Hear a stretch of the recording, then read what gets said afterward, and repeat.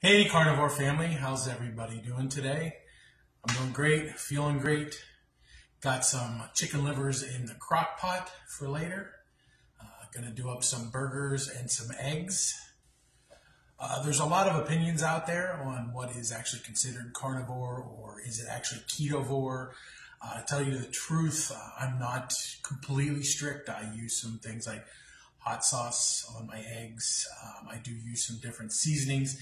Today I'm trying something a little different in my chicken gizzards. I'm actually cooking them in coconut milk with a little curry powder uh, just to try up some different flavors.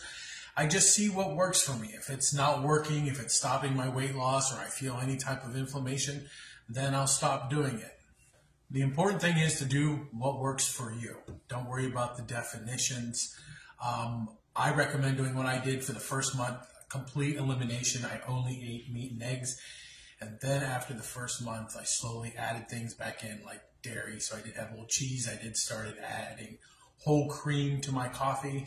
So just figure out what works for you. Don't stress about it. If you're hungry, eat. Eat till you're full. And if you're not hungry, don't eat. And have fun with it. Now let's check on those chicken gizzards.